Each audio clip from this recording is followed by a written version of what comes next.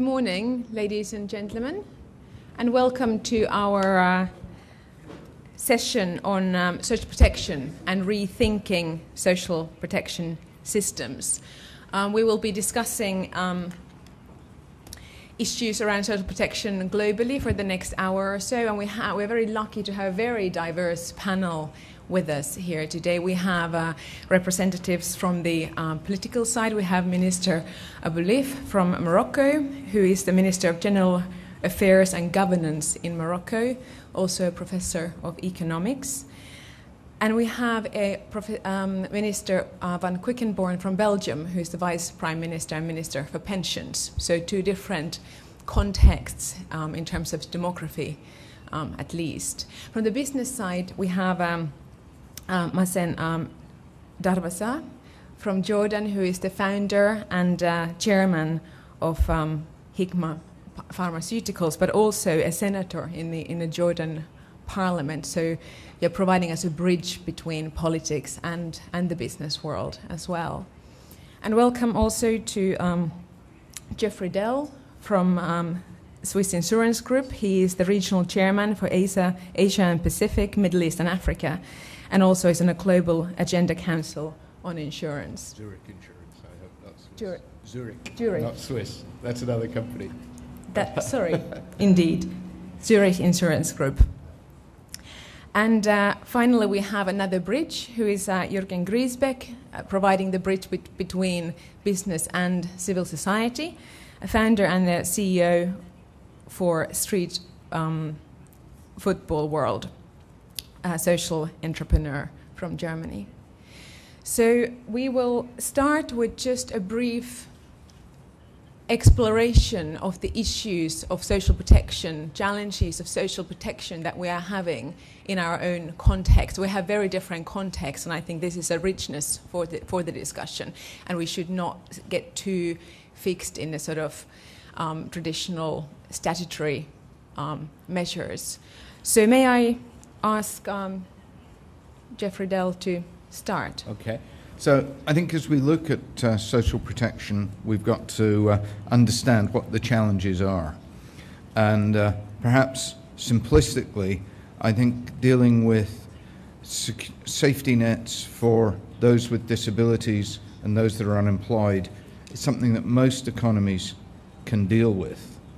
What is worrying is how do we deal with pensions and uh, medical care, where both have fundamental drivers that are causing problems. The changing demographic pyramids are putting huge pressures on pensions. The fiscal strains that uh, much of the world is under is putting tension on it. And there are real arguments to be looked at as what, what is the right age for pension? Is it what Bismarck was looking at, the last two or three years of a life, or is it uh, what much of Western Europe started going to, a retirement in the mid 50s and 30 uh, years of uh, relaxed life? Medical care has continued cost inflation issues and the dramatic rise of non communicable diseases to deal with. Are we able to effectively ration healthcare? Is that something that makes sense in the societies we work in? Is it ethically sound? If you can't ration, how do you keep those costs under control and how do you fund them? And with this whole demographic uh, pyramid issue creating immense strains in many countries, and we were just talking about Japan. By 2050, Japan will have as many people over 60 as it has under 60. How do you deal with uh, benefits for the aged in a society that's reached that state of balance? Thank you very much. Um, Mr. Darwazeh? For, uh, for somebody working in the pharma sector, uh, we're a company that works, we have 7,000 people. And social protection for me is looking at instances where we have lack of discipline, rule of law, like what happened in the Arab Spring. We had employees, uh, you can't imagine, that didn't have credit cards were not working, there were no banks, uh, there was no mon monetary instruments for people to survive when the revolution happened in Egypt. We as a company had to really look at our workforce in Egypt, how to deal with it, and how to start implementing uh, some sort of system that will be able to provide them with daily life. Not, I'm not talking about healthcare, I'm talking about basics of daily life. We're talking about uh, having a civil war in Lebanon or in Sudan where you had your employees rifted between two parts, where you had patients that you had to get products delivered for. So social protection is not only giving your uh, people equal opportunities, equal chances, continuous education, better life, health style, uh, better protection system, but is being to empower your, uh, your network in Sudan or in New Jersey. When you work in both in Sudan, Morocco, and New Jersey, and you have people uh, working in these three different environments, it's very uh, paradox what, what the systems that you have in the US versus what you have in the MENA. So adapting as an international company to the local needs that you have in every country is what really, uh, I believe, is the biggest challenge. Plus, the very important fact that we work in the Arab world, and 60% uh, of the population of the Arab world is still below the age of 21. So that's another challenge that we face going forward. How are we going to create job demand for these people? How are we going to give them equal opportunities? And how are they going to be uh, globally competitive? You know, I always say there's, there's really no difference between a child from Finland or a child from Syria. Both are global people. Both today have the means of, of interacting with each other very quickly, and both are capable of being competitive. So, as a company that's diversified like Hikma, we have to adapt our systems in order to accommodate the needs of different cultures acro uh, uh, across the globe, I would say, in, in, that context. So, the role that you are seeing for, for the company is indeed broader than um, kind of very strict? It's, it's, it's broader because uh, when you work in 42 countries, and uh, uh, fortunately in the Arab world, and I've been working 25 years, I've witnessed seven wars. This is something that you don't witness a lot in, in other parts of the world. So you really have to be adaptive, you know, and, and you have to expect the unexpected. Uh, walk, waking up one day, literally finding yourself isolated with no means of communication, no means of monetary financial tools, no means of uh, getting the next day. So how do you adapt to that? I mean, when you have a business model, you have targets, and you have uh, uh a case where you have uh, patients in a hospital in Beirut during. Uh, I, this is a very good example. I always say when the Israelis were bombarding Beirut, uh, the hospital, Rafiq Hariri Hospital, the biggest hospital, had no anesthesia, had no antibiotics. Companies were closed, so they called one of our people. Fortunately, they had the cellular phone at that time. We had to go improvise, go to the airport, get the medicines from the airport without invoices, without anything, take them, ship them to the hospital just to save the day. So this is over and above protecting your social community or protecting uh, the values that you work with. So being adaptive and being local, and this is what I believe is a good model uh, in this part of the world. You have to be local born companies that can grow and depend on your local community. And this is, was a very good example during the Arab Spring. What happened is that most of the companies we work in, whether it was in Libya, Tunisia, uh, Egypt, we were able to rebound in a very quick manner and go back on track because everybody was, from, was local. So we have to be adaptive in being a local company, uh, and but an international company. I mean, thinking international but acting locally. This is what I always say. Thank you very much. Thank you. And what about um, in, in Belgium, Minister Van Quickenborne? What do you see the challenges on social protection? Well, I think that uh, we, we are at, this, at the heart of Europe and we, we face uh, the challenges that uh, Mr. Riddell uh, just referred to uh, in a sense that uh, on the demographic side, uh, we have a huge problem. Actually, also security systems in, in, Europe were developed in the, in the 40s and the 50s of the last century, and that was at a time when you had uh, lots of young people. At that time, seven people working for one uh, retired uh, person. Today, we're at, at the four to one, and we will evolve towards two to one. And as our social system is based on what we call repartition, so the people working today are paying for the retirees at the moment. This uh, comes uh, under immense uh, pressure. So what I think uh, should happen is that uh, I think the solution to a lot of the problems that we're faced to uh, in social protection is a hybrid solution where you need um, a state-supported solution That means that you have to have legal pension systems that are given basic pension guarantees to people. That's what we have. But um, um, uh, as the demogra demographic situation is changing, um, consolidating that is the best that we will can do in Belgium and in other countries. You'll have to complement that with private sector solutions. And that's what we're looking at, um, making group insurance uh, uh, uh, general by subsidizing schemes, tax deductions, and so on. And so if you complement states-offered solutions with private sector solutions, in the long run, I think you can guarantee uh, good, uh, uh, a good pension system. And that's something that I would like to point to the people from the, from the Middle East and, and Central Asia, that is um, leapfrogging. You can learn from our mistakes. Our first mistake was not having a system adapted to the demographic changes as we are uh, looking at. And the second problem, or the second, the second uh, challenge that we're faced uh, with, is that a lot of the pension debt or uh, pension schemes are based on taxes on labor. Uh, labor is taxed too heavily. Uh, and um, if you look at countries like Norway or other countries that um, earmark their revenues out of oil or gas specifically to uh, building, constructing uh, efficient social security systems, you can find a solution to that. So those two challenges, demo demography and where do you get the revenues, are the challenges that we're looking at. Thank you very much a slightly different context in Morocco, Minister Boulif? Thank you. I would like to start out from what Mr. Riddell spoke about at the outset. No doubt, social protection is multi-dimensional uh, because uh, such care uh, protects, provides uh, for people against uh, shortage in resources, whether at present or in the future.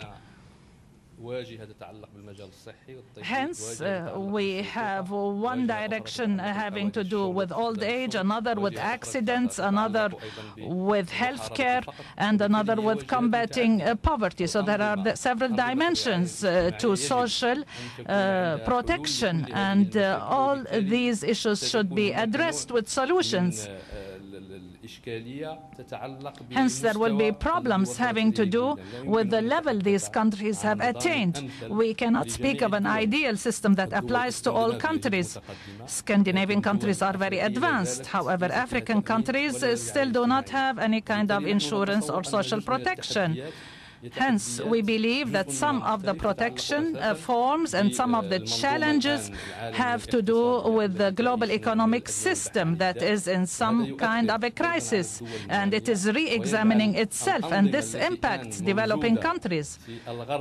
The systems that exist today in the West uh, lead uh, developing countries to raise questions and say how feasible are these systems in the West because they face a crisis today and can we follow their path?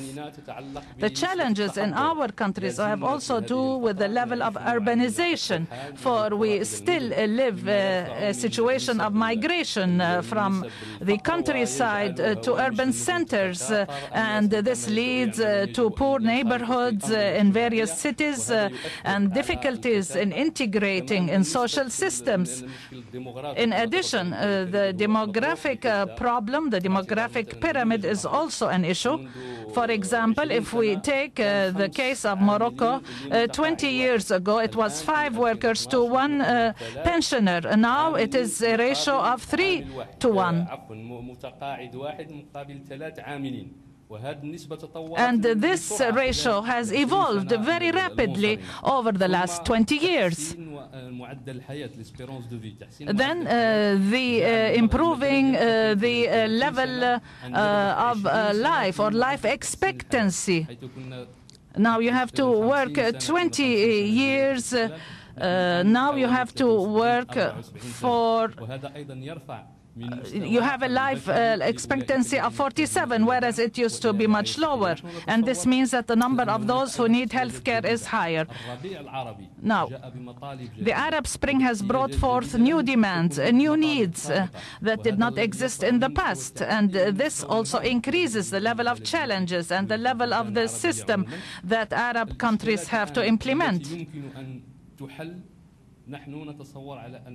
The problems that we have today uh, would require uh, a coordinated effort, uh, a form of solidarity between those effective and active in civil society and the NGOs uh, who play an important role in our countries and in Morocco in particular and there would be those uh, who care for the needy and those who would uh, care for orphans and would care for them for the whole life cycle.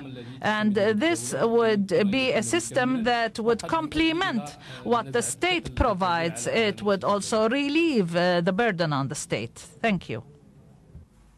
Thank you very much. I think that's quite a natural, natural um, shift then to Mr. Griesbeck and the role of civil society and social protection challenges in that, that forum. Yeah, thank you very much. Um, I mean, there were already several points mentioned by, by my um, fellow uh, panelists here, but I'm looking actually at the social protection system from a slightly different angle. Um, my experience is based um, on working with around about 100 civil society organizations around, around the world, um, working out of 60 countries and they are dealing with a population that doesn't have access to any kind of system. Um, so they are, in this sense, as we're discussing so far, they are not protected at all. So social protection for them means community cohesion and a safety net, which is based on solidarity within within their communities, but no access to uh, to insurance or, or, or, or, safety nets in terms of systems. Um, so these might um, there, there, are probably two levels of work of these organizations. One is just mitigating the immediate problem. Um, that can be landmines in Cambodia, that can be HIV and AIDS in South Africa, that can be um, homelessness or rough sleepers or drug addicts in, in, in, in northern capitals. Um, so, and the second level is then to um, have young people work over a longer period of time with their organizations in order to actually build pathways that make opportunities visible to these young people. And what, some of the opportunities would be access to the systems. Um, so, what we have experienced in some countries, um, let's take England as an example. Um, where one of our network members actually works with the government, in, in that case, it's, it's the government, um, in order to deliver services to the government, which the government is not in a, in a position to offer to, them, to this sort of community. Um, and, and it's based on, on a social revenue and investment model, and, and it's just more efficient as what government could do in this case. Or if we're looking at the private sector, I mean, there are now models out there. Um, we call them hybrid value chains. It's not hybrid necessarily between public and private, but it's hybrid between private and social and civil society. So I, I mean, there are um, opportunities out there, and then we would look at social enterprise models. Um, and probably, I, I, know your company, for example, in Mexico, um, you, you have adopted such a, such a model. And yeah, this is a market, I, I think, if I'm not wrong, around about 50 million people you are not accessing currently. And in profitability terms, it would, I, I think, represent close to 2 billion. So I think um, there are opportunities um, where civil society can play a crucial role. Thanks very much. I think the ideas there that we're coming through from everybody really around kind of flexibility and and uh, kind of reaching beyond the norm and the, the, hybrid models is is very relevant. And just I just wanted to. This is something that I've been thinking about for a long time now, working in Central Asia um, and specifically in, in the area of population aging and, and social protection. And I've been just kind of observing this structural lag. So, for example, in a former Soviet Union, where we are now with many of the bilaterals, multilaterals, designing social protection reforms or new models. It seems to me that we are still looking at the models that are stemming from the European model in from the 19th century, which is actually very much based on formal and active labour market participation and immobile labour market um, force. And yet, certainly in Central Asia, just over 20 years, in a very short period of time, the informal sector has exploded. So we're looking at 40% of the people being in the informal sector now, not linked to the system. They're migrating. 20%, 20% of Kyrgyzstan, Tajikistan, Moldova are out of the country. They're not in the system. So the models that require or are not able to respond to the movement and the flu- kind of fluid um, nature of workforce seem to be out of date. And I really wondered if we could, if, if you feel the same, if you have seen the same, are the systems fit for the world that we're living in? Both clearly we have the side, the side of the, the kind of contributory insurance based side, but also the people who have no formal link to anything. Do, and when we talk about rethinking social protection systems, how can we take the fast pace of change into consideration and the mobility of people into consideration? And there was just a couple of examples that um, were, were thinking about this risk, perhaps, or becoming blind to unchanging, possibly, institutions. Um, I was, uh, someone, someone just mentioned this to me a couple of days ago that the whole idea of a 40 hour work week was set up in the Fair Labor Standards Act in 1938, which was the time when women were generally not working. So there was somebody at the home looking after the home. But yet we are still running the same system. The world, the world, labor force has completely changed. And just again, going back to Central Asia, a very specific example migration that was mentioned that has transformed the social cohesion and the family structures um, has resulted in a very widespread composition of households that only have the old and the young. And there's a mi- huge missing middle across the region. And yet, the social protection mechanisms have not recognized this. So, in terms of the older carer, the grandparent to access support, child benefits in a very simple way, is often impossible because this care arrangement, even though so wide, has not been recognized because the change has been relatively quick.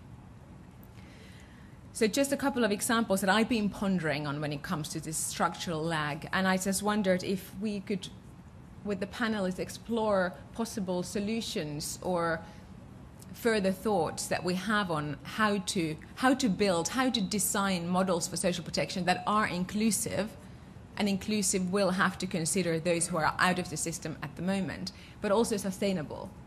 And is that a um, fine balance, or or is it? Okay. Jeff Riddell, would Okay. you like to take that Um, on? You know, the, the challenge with this topic is it's so wide ranging. There's so many issues. All of us could probably talk for hours on it. So uh, I'll try and home in on a couple of issues. I think we've already heard a theme out of everybody. We heard both from both ministers, private and public solutions working together. I think one of the key issues is learning from the mistakes of the past. We've also got to deal with promises that were made at different times and expectations that come from them. The, uh, the private sector has a critical part to play. And going back to your Central Asian story, it's very interesting that people think of Asia itself as being the home of family values and family support. In fact, a recent set of surveys done by the UN showed that uh, the highest number of people thinking that it is the duty of sons and daughters to look after their parents is actually in Singapore, where it is a, a only 20%. In mainland China, only 4% of people think it's the job of sons and daughters to look after their parents. So the traditional norms are no longer being followed. China has exactly the problem you were talking about of grandparents raising children. 50 million children in China today are being raised by their grandparents. So we've clearly got some mobility issues. Migration is one of the answers to some of the demographic pyramid issues we have around the world. There's cultural resistance to that, but controlled immigration is a big part of that solution. What we have to deal with is is migration temporary or permanent? And uh, the challenges that you raised and which Mr. Griesbeck raised of people that don't fall under safety nets, the refugees, the illegal immigrants, whose duty is it to look after them? And do we want, even with those that are legal immigrants, is there a portability of entitlements? I'd suggest portability is a step too far at the moment. What we've got to deal with is let's get the safety nets in place and we can worry about portability later. If they're well enough off, the private sector, that's us, can help with portability. Um, and I just say there's systems to look at like Australia's, uh, like Singapore's with retirement benefits where the strain is taken off. The more we can get those that are well working with private solutions, the more we can free up fiscal solutions to deal with the uh, those that are disabled, but also the immigrant minorities and bring them into play. So I see the job of my industry as taking as much of the strain as we can off the public sector, allowing public sector finances more freedom to deal with the really difficult challenges question to that around portability, which I agree is a, is a really substantial question. You were mentioning that the private sector might be able to support that. How, what would be a practical way of doing well, so? we've got to sort out some fiscal challenges with it at the moment. So, portability of pension and medical care is actually quite an expensive thing to mm. deliver mm. at the moment, and many countries don't necessarily allow that because of the way their tax breaks or their tax treatment of pension funds is dealt with. So uh, I think we know all the issues. We know some of the answers, but there's a lot of work to be done to create true portability even within the private sector. And portability within the public sector is particularly challenging. Though, of course, there are some portability examples within the EU, uh, both in a positive and a negative sense in terms of residents migrating to better benefits or people taking their pensions with them to uh, cheaper environments to live. Thank you very much. Uh, it's very interesting uh, when you talk about a structured society.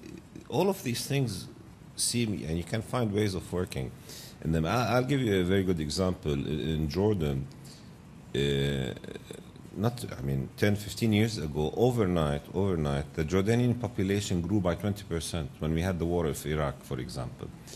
And we were faced with a situation where we had 20% of our population within one week coming into this country. You need the infrastructure, you need the schooling system, you need the healthcare, you need all of this infrastructure. So how do you adapt that? And uh, uh, today, I mean, uh, last week with the Syrian crisis, also we have another influx of Syrians coming into Jordan, and they became uh, they came in the, during the middle of the year. So a question was for us as as a country. I mean, do you get them in the schooling system? What do you do? I mean, they, they, it's a different curriculum. What do you do? How you adapt to them? These are practical things in life. And most of the people that came into Jordan, for example, were children. So they had to go into schools. You cannot leave a child for six months without a school. So social protection goes beyond the things that you classically uh, try to uh, define in a, in a well-balanced social structure. I'll give you another, another extreme. We as a company, we have 7,000 employees, like I said. We are uh, publicly listed in the UK, so we have a regulatory issue that we have to conform with, and we have a practical issue. When the war in Libya was there, there was no government in Libya okay? And we had patients on products that are uh, life-threatening products for immunosuppressants. So we had to improvise, work through Malta, ship to Libya without any financial controls.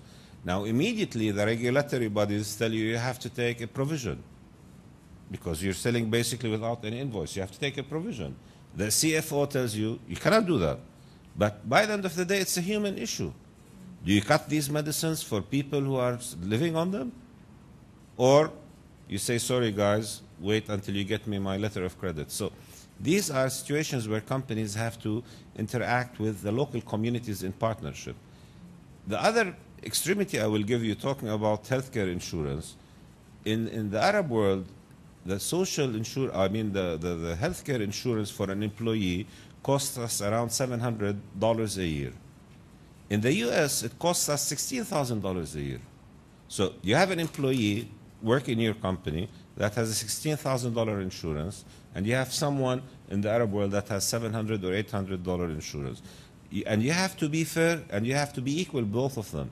So, uh, what are the parameters that you have to work in? So, in practical, this is what I'm trying to say, in practical life, it's very different than what we learn in textbooks and what we try to implement.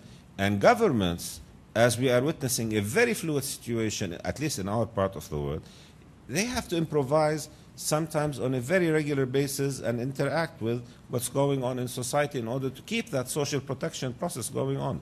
So it's quite diversified, I believe, from one system to another. In, uh, and uh, the Deputy Prime Minister, what you were talking about, you know, in countries like Finland or Sweden, where we have, uh, where you have the oil funds that will, will give you that safety net in countries like Jordan, there's no oil, there's no water, that we have to have another kind of safety net.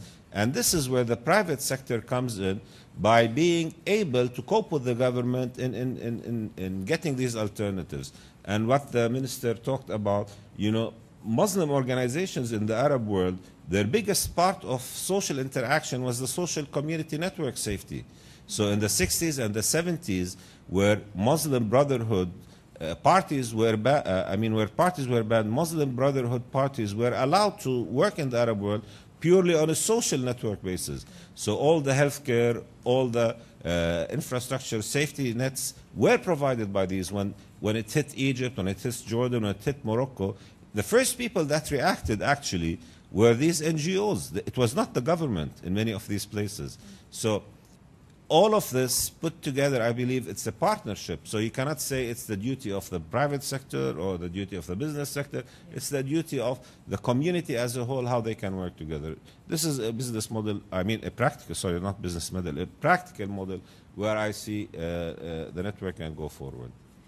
Could I also explore a little bit about your experience? You're working, Hikma is working in MENA and has an extraordinary access and experience in very different um, frameworks, countries that all have their local legislations. Have you seen uh, does have you seen good models basically? Uh, is there anything in MENA that we could we could learn from?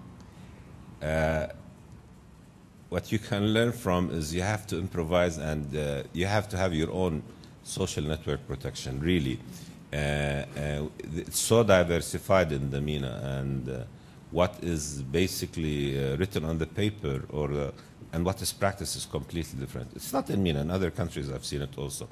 Uh, but good models, basically, they end up being uh, bankrupt. And I've seen that in, in the GCC, where the government was taking 100% care of everyone. Then they started taking only care of their uh, locals. Then they said healthcare must now be done by for the expats by their companies. Now, healthcare has to be done for the expats by their companies for them and their children, and they will not give you a work contract un unless you have a medical healthcare. So, as countries deplete their resources, they have to go by the end of the day to the private sector. So, that model of partnership has to go on, and companies have to uh, uh, interact with their governments. Uh, I mean, I'll give you a very good example. Uh, I don't want to go into many details about the pharma industry.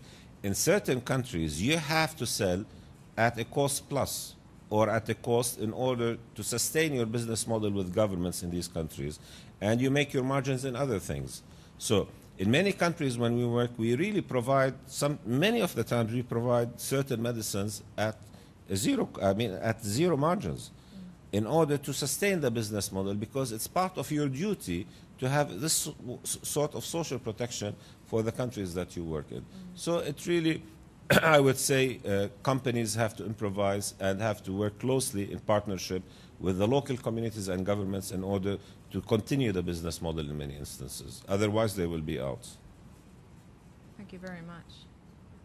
Minister um, Van Quickenborne, how do you how do you see the solutions? Perhaps this is the difference between the private sector and government. You may not have the measures to be sort of or improvise so much, but of course, um, in other ways, the government response can be and should be substantial. So, what, how do you see the way forward?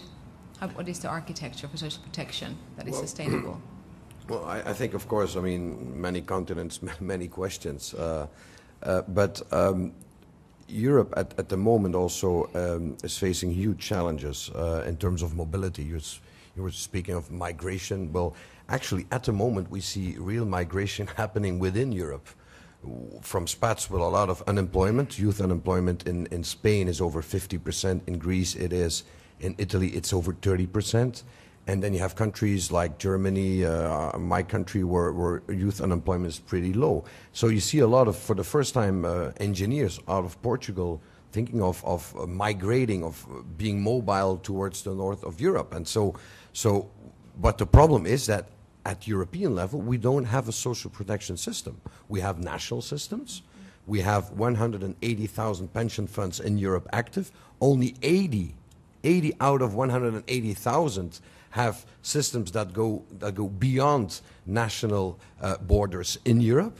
So um, we have we, we're we're faced with a huge problem that is the portability, not only in private sector terms but also in public sector terms. How can you guarantee uh, uh, somebody from out of Portugal work, coming to work in Germany that uh, in terms of social rights everything will be okay, especially also on the side of information because a lot of anxiety that exists within modern state, so-called modern state, has to do with the fact that people do not know what they will get. When I go speaking about uh, with pensions, uh, I'm a pretty young guy, but I go speaking with a lot of youngsters in my country and ask them, I'm, I'm anxious, I'm not sure if I'm going to get a pension.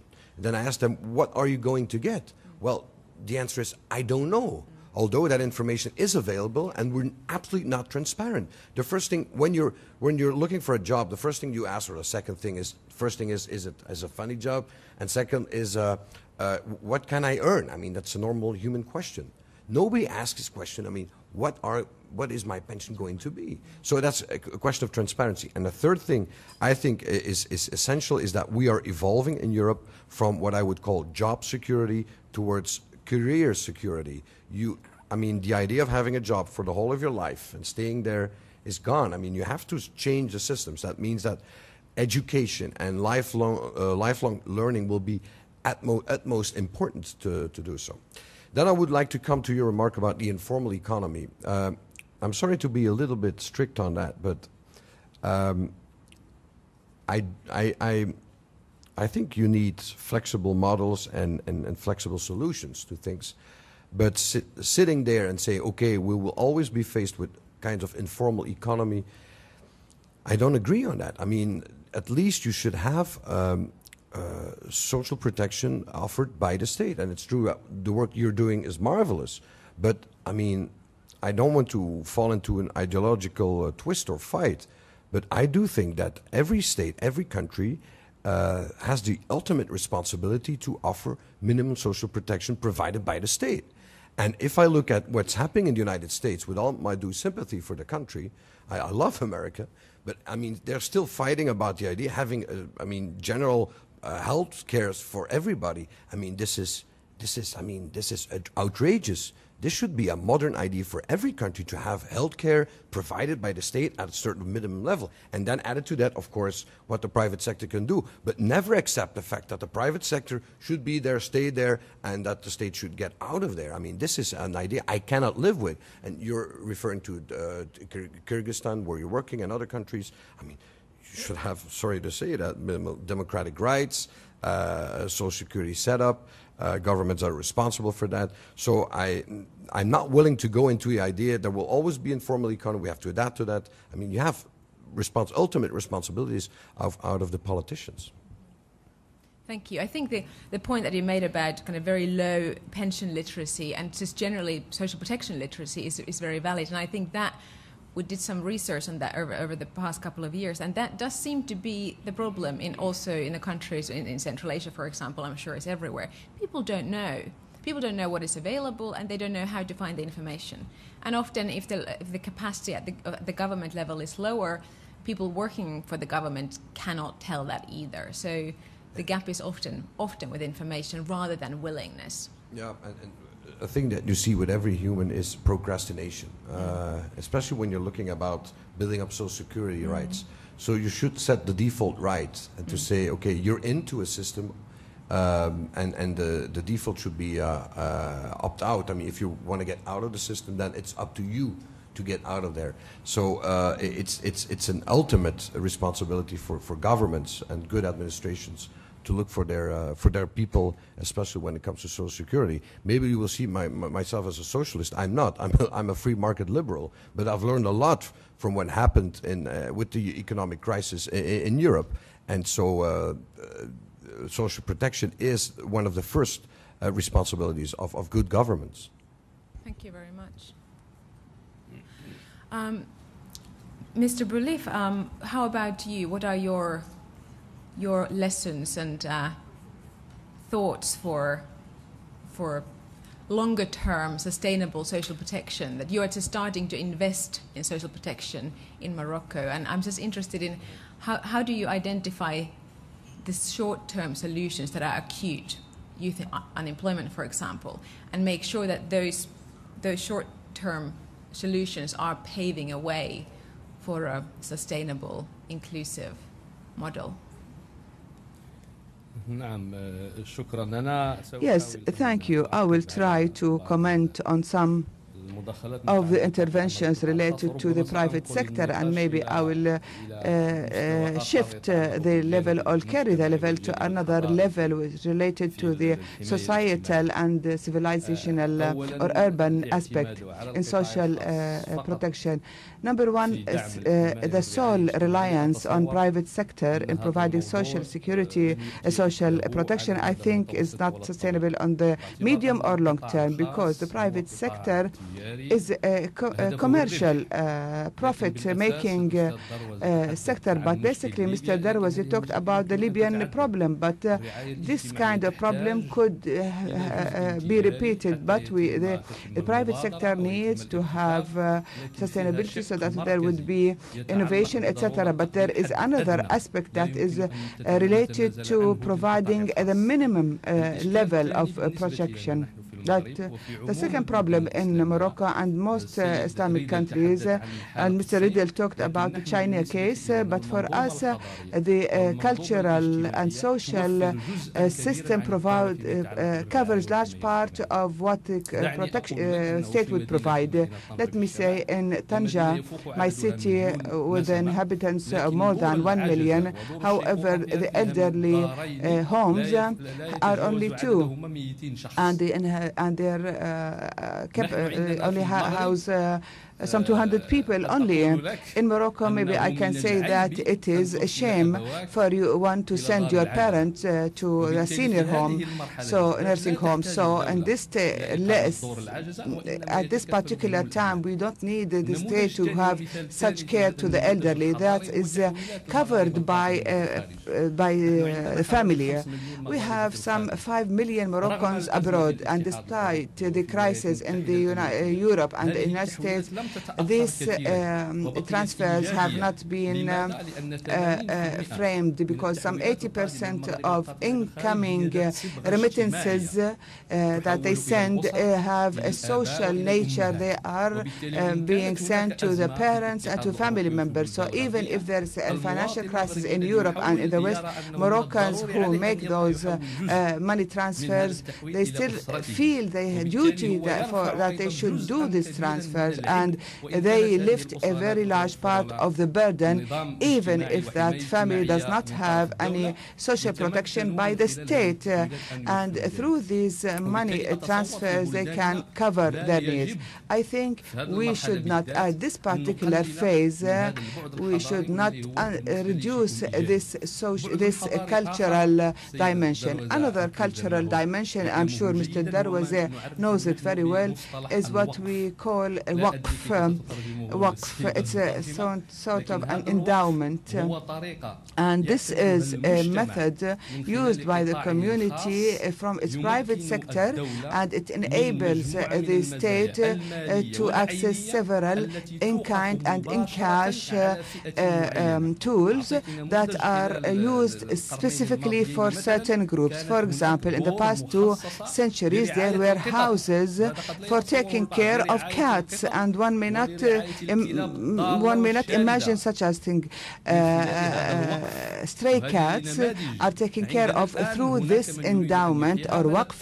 Uh, for example, in Turkey, in Indonesia, other countries are relying on such a system, and they have shown that they are able to progress. Another model for us in Morocco, uh, we rely on certain funds. Uh, we are not an oil-rich country. However, in uh, our partnership with the private sector, we were able to have a law uh, and uh, creating a social solidarity fund. Companies that um, make more than a certain amount of money, uh, for example, 200 million dirhams, they were committed to present, to submit, for example, 1.5% of their profits to this fund. And the fund supports certain families or sectors so that we would reduce poverty and the vulnerability and to increase their uh, uh, purchasing power. We use such funds in addition to other funds that we call uh, support funds, uh, uh, basically supporting the purchasing uh, ability of families that are not socially covered by social protection, that would able to maintain meeting their basic needs, housing and food, etc. This shows that if we gather all those elements of this system together, we can have a system, let me say, that is parallel to that of uh, the current one uh, that is operating maybe at a mid middle, uh, medium level, not a very high level. Maybe it's not 100% uh, coverage, especially for us. The rural uh, world is still uh, harmed because it is the one that has the least coverage. this is a big challenge for us in Morocco. Thank you very much. Mr. Griesbeck, um, going back to the to the very large, um, vulnerable, uninsured, informal population, would you be able to offer some some solutions in terms of partnerships I mean, I think I mentioned it already in mm. the first statement. I, I don't see any other solution than collaboration between the three yeah. um, private, public, and civil society. And I very much echo Mr. Darwazeh with what he said. And uh, two months ago, I was in Amman and I was quite impressed how Jordan is um, kind of dealing with this uncertainty um, on a daily level. I would also echo um, the Deputy Prime Minister in terms of it is a government responsibility but that does not mean that government has to do everything. Um, and I'm back to collaboration with the private and the civil society. And I can sing a song about the USA. I'm currently living in the USA, and I'm rather not going to the doctors because it's just too expensive. Um, um, but I think there is um, a need to, to recognize that over the last probably 20 years, there is a new industry that's called social entrepreneurship and social enterprise, social business um, that hasn't been recognized as part of the value chain, I would say, or part of the, let's say, delivery of services, um, not only to the vulnerable, but to, if, I mean, if our ambition is to, to reach um, 100% coverage and to really deliver services um, to everybody, then I think um, this is an industry that hasn't been recognized neither by the private nor by the public. Um, and I think there are assets in that industry that is just out of reach for governments and private, which is deep knowledge of communities, aggregate the demand, and um, and also the, the let's say the possibility to change behavior um, towards probably then trust in government or these kind of things that are necessary in order to accept then the services of a government. Um, and at the end, I think it's not only that then the um, undercovered or let's say the underserved community does does um, does win with the situation. I think also for the private, it's a profitable way to go, and for the government, it's a way to go in order to just fulfill the mission of a government. Um, so I I can see another way um, that's not um, called collaboration of the three. Yeah. Then why is not um, why is kind of your sector, um, social entrepreneurs, why is it not bigger? Why don't we see more of it? I mean, it's very young. Um, as I said, it's just probably 10 to 20 years and really kind of um, on the map of, of, of, of, the global community. It's, I mean, that's the Schwab Foundation's efforts and the Ashoka's efforts and those who are identifying these kind of um, solution solution driven entrepreneurs in terms of um, serving the, the communities and it's just that um, we haven't yet entered into, let's say, too many of these successful partnerships that then could go to scale um, as a model for the partnerships. Um, and that needs, let's say, more approximation of um, the sectors, being at the government in terms of frameworks and allowing social entrepreneurs really to, to develop and the private in order to recognize, in order to um, establish and su- support these industries for their own sake. Thank you. I would um, open the floor now, unless any of the panelists would like to come back to a comment or open the floor for questions. Um, one, there, please. I'm, I'm Barbara Thomas Judge, and I'm chairman of the UK Pension Protection Fund. And I have a question to ask the um, to ask Geoff Riddell and also the Belgian minister. I agree that we need to have the state and the and the private sector work together to protect people. And in the UK, we're trying to have a single state pension and give people an idea of what they will get. But the problem that we have in many countries is the pensions crisis, is the fact that we promise people defined benefit plans and we cannot afford to pay the promise. So what it's happening besides the fact that we're worried about whether we can pay the promise when the time comes is we're shifting the risk to the employees in defined contribution plans. So we're giving them some money and then we're saying really you're on your own. And that's not working out quite so well. People don't really understand what to do with the money and employers aren't being all that helpful. So what we're trying to do is find a way between defined benefit and defined contribution where, pe- where the risk is shared between the employer and the employee in terms of giving people some idea of what they will get at the end of the day, but not totally rely on the employer to fund that. So I would ask the panel how you think we can do that. This is a serious question. We are grappling with it right now in the UK of we're calling it defined ambition, but we don't quite know what that is. What we want to know is how do we keep employees understanding what they get, get some kind of minimum benefits, but not burden employers with big pension fund deficits, especially as Solvency II is trying to apply insurance company regimes to pension funds. Thank you.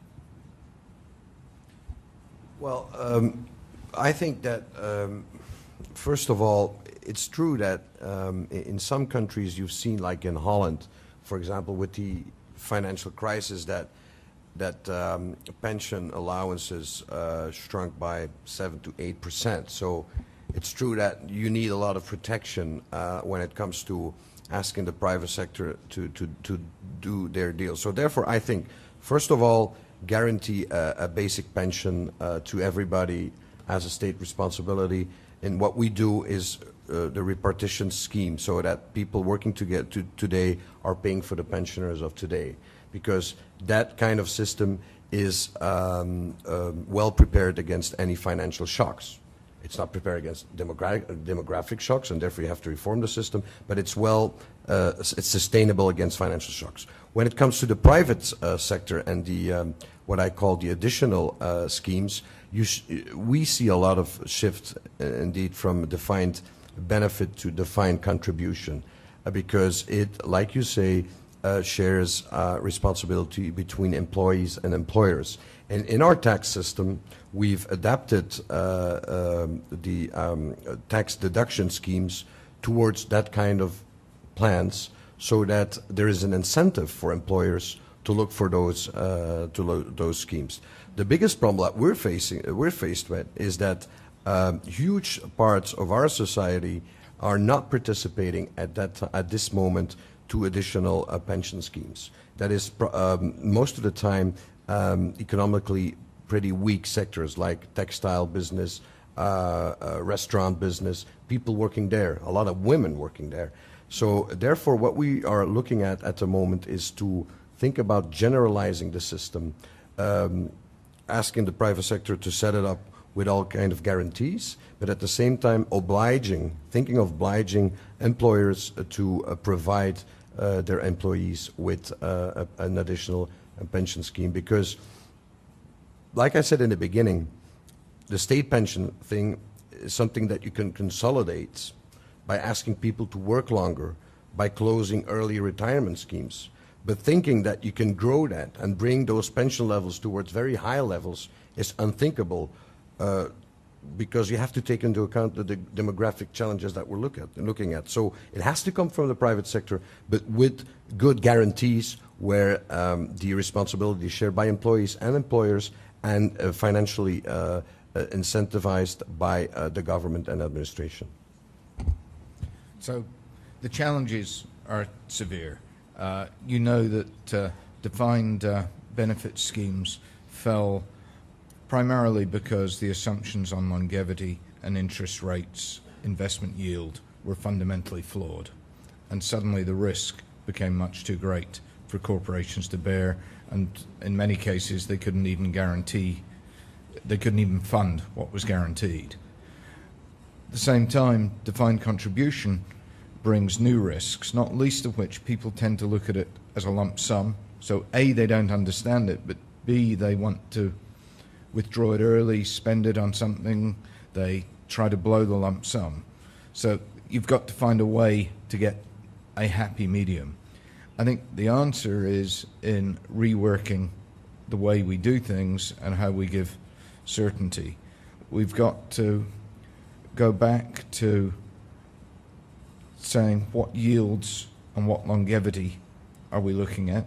Longevity, the current assumptions are probably totally wrong. We probably need to add four or five years to the current assumptions because the way actuarial science works, it gets longevity wrong by definition we need to start almost looking at defined contribution as a contribution to an annuity and uh, start looking at it in an annuity sense, and you then get that certainty that people are looking for. But it's not a great answer. Yeah, but you know you can't uh, you can't fix the interest rate problem. The only way you fix that is by putting more money in. So if the annuity gives too low a yield, then there's an employer-employee contract issue that has to be resolved. But at least you've got a certainty to it.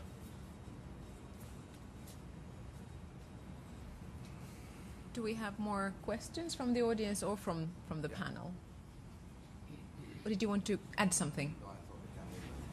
oh, maybe so. There's a question I knew.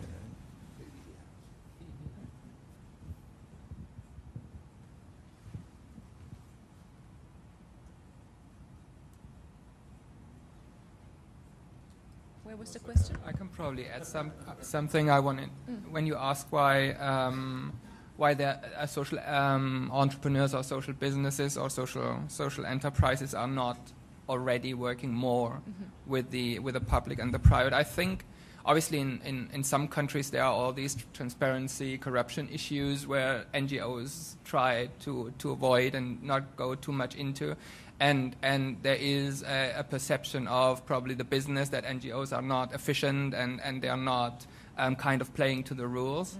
Um, and I think that has to be overcome um, because it's it's not anymore like that.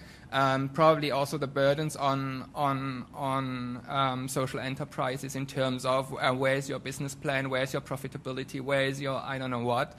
Um, talking from let's say a government a government perspective that are often or would be bankrupt in a private space. Um, it's it's sometimes a delicate a delicate discussion um, where I think we just have to come back to, to think about what is our common purpose. Mm-hmm. What do we want to achieve together? Um, and we have to think about, to think, let's say, beyond our organizational or institutional or national boundaries in order to solve problems.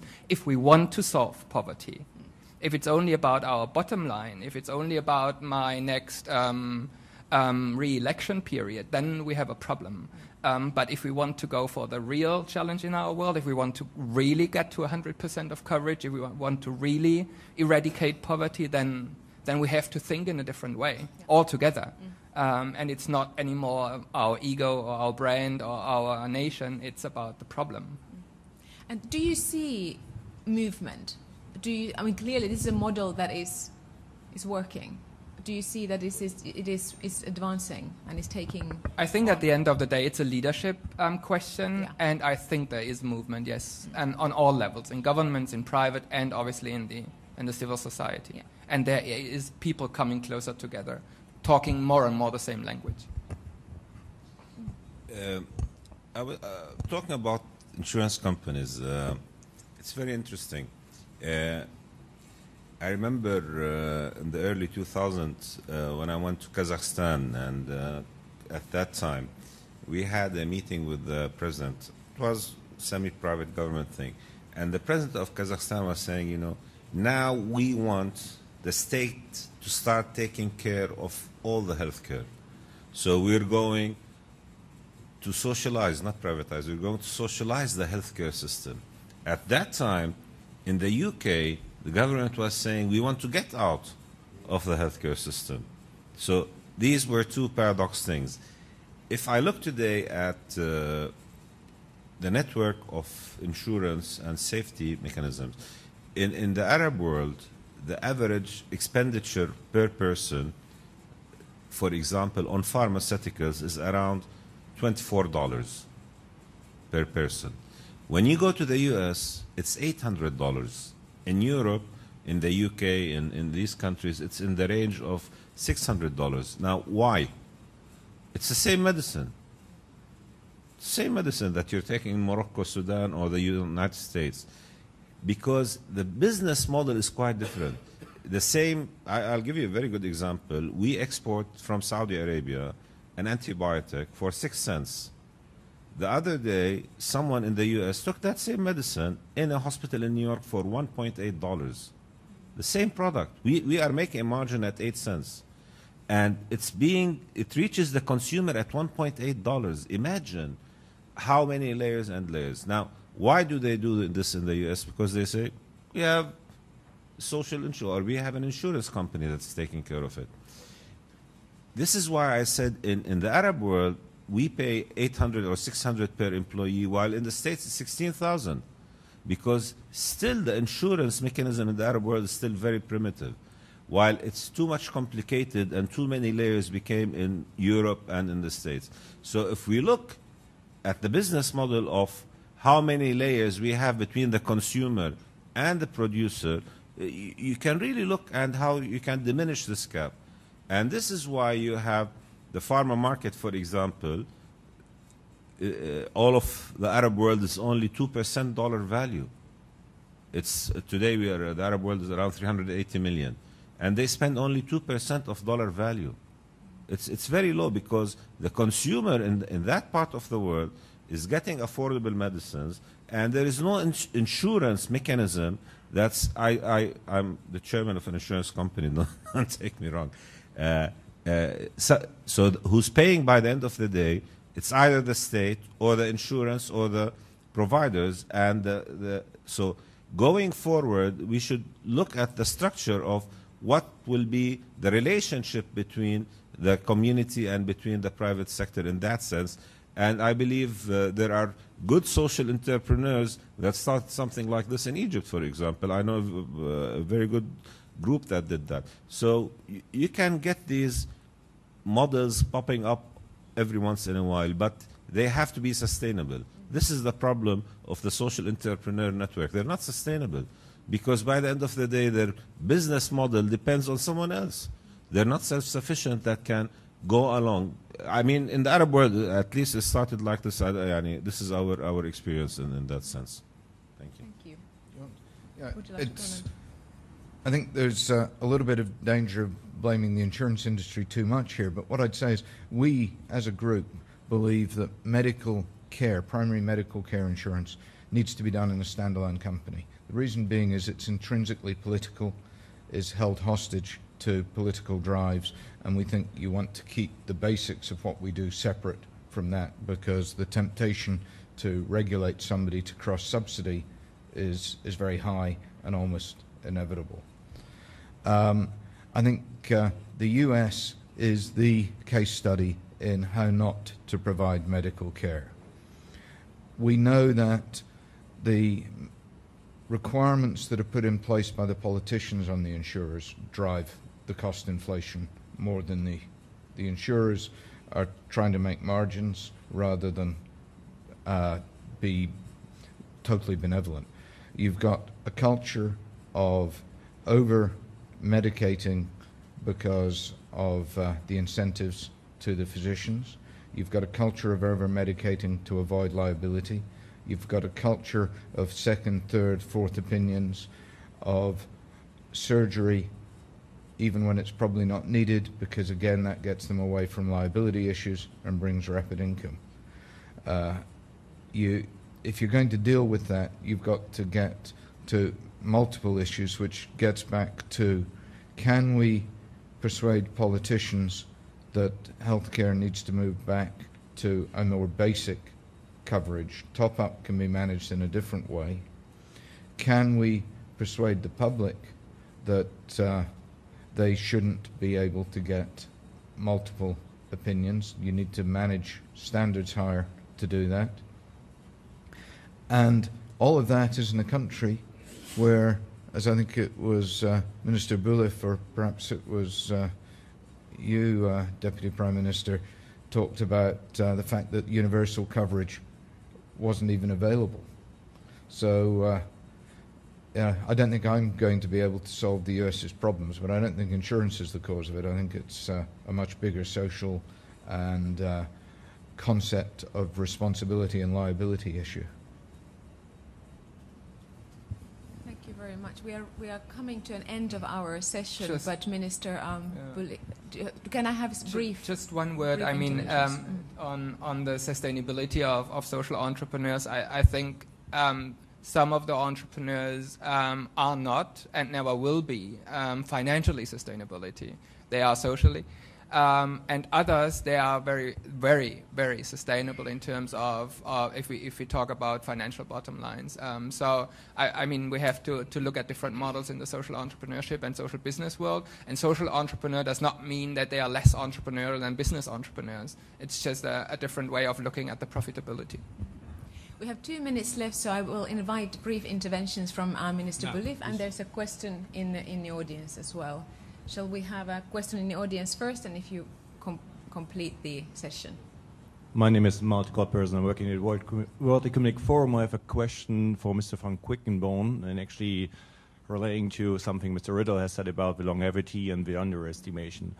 I'm a German living in France, working in Switzerland, and I, I face actually three different retirement ages as such. I'm flabbergasted now with, of course, the, the recent election of President Hollande, who actually reduces uh, retirement age, uh, by the lack of, uh, say, a vision from the European Union to align oneself at least to something like a common pension year for members of the European Union. Can you elaborate on that? If we are not even able to fix something basic like that, how we're we going to ever to actually fix something which is a bit more elaborate? We have concise um, response to that. Yeah, thank you. Well, first of all, Switzerland has to become then a member of the European Union, but that's uh, something else.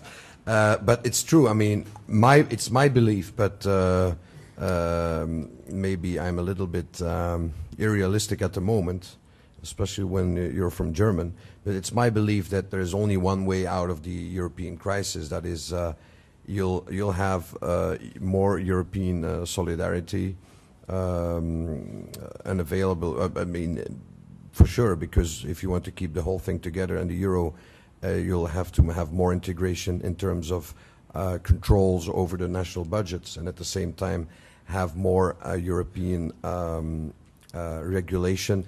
I think social protection will be probably after we're speaking about the banking union and the fiscal union, in a few years' time, we'll be talking about social union. Social union will come in two phases. First phase will be about portability, on the public and the private sector, and then the second phase will be about regulation. But today already you see in the country recommendations that are um, um, provided for by European Commission, today you see all, all, already in those recommendations to every individual national country recommendations when it comes to pension age, linking to life expectancy and so on. So you have a tendency toward, towards convergence, but still on a national level. The next phase will be coordination on the European level. But I absolutely, absolutely agree with you that we need more uh, Europe for that. And when I was referring to the mobility from Portugal for, to German, uh, I, I, would have imagined that you were uh, not as a Portuguese, but as a, as a, a German going to France and then uh, ultimately arriving in Switzerland, also a good example. Thank you. Level uh, of uh, life, uh, and it will be difficult to have one single age for all these countries. From the discussion, it is clear that there is a complementarity between the role of the state, the private sector, and the different social entrepreneur uh, organizations. And this leads us to say it is best uh, for the state to uh, provide for the baseline, the minimum social protection, and the private sector will take up uh, a big part of what remains. And what the private sector cannot, uh, for certain commercial reasons, then uh, entrepreneurship, uh, social entrepreneurship organizations can step in. There is sustainability in the work of these organizations because there is a transformation. So if one single organization uh, cannot cover a certain area, then another organization will fill in the place. But what I believe should happen is to facilitate the work of these organizations. The government and the private sector should be convinced that there is a need for this third partner. Thank you. I want to thank you for you for um, summarizing for me. I mean, it was clear that one of the solutions, the clearest solution coming through the discussion, was indeed this partnership. That we have to step step away from the textbook approach to social protection. That civil society, business, and governments do have to work together as a community in order to provide protection for, for all of the members of the society, not just the poor, as you were as you were mentioning, and issues like the crisis, economic crisis, mobility, migration, which is not going to decrease, are going to set us very, very different um, challenges that are going to require very flexible responses. That this kind of community of the three, uh, three um, partners will probably respond best. Thank you, gentlemen, and thank you for the audience as well.